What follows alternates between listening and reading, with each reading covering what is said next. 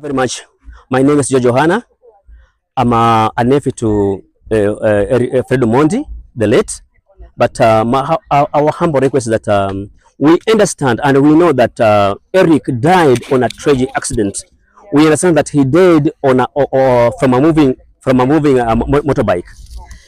So what what what what what we want to say is that uh, we welcome all the visitors who will come here. We welcome everybody who will come here from all the political parties.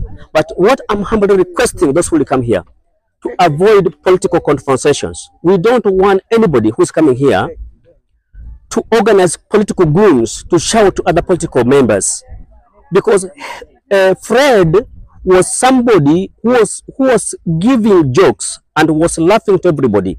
So we want everybody who's coming to the federal to laugh to everybody. We don't want anybody coming here to to make a conversation with anybody. We want people to be friendly. We want this home to remain peaceful. Fred was a very peaceful, peaceful person. So those who are coming here, we welcome almost everybody. Let's let's those who are coming here, let's be friends.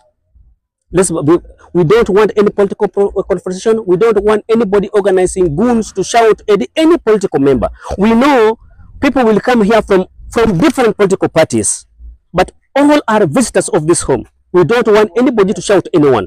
We, we welcome everybody. Okay, thank you. Thank you very much. Haya. And may will bless everybody.